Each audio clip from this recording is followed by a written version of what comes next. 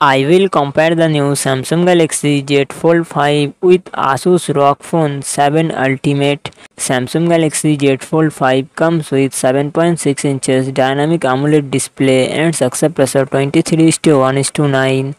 Asus ROG Phone 7 Ultimate 6.78 inches AMOLED display and success pressure 19 5 9. Samsung Galaxy Z Fold 5 run on the Android 13 operating system. Asus ROG Phone 7 Ultimate run on the Android 13 operating system. Samsung Galaxy Z Fold 5 it comes with 12GB RAM and 256GB 512GB 1TB internal storage.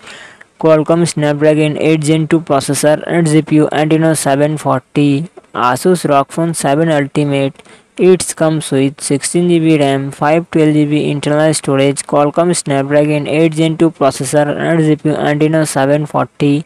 Samsung Galaxy Z Fold 5 real set triple camera setup 50 megapixel plus 10 megapixel plus 12 megapixel and front camera 10 megapixel.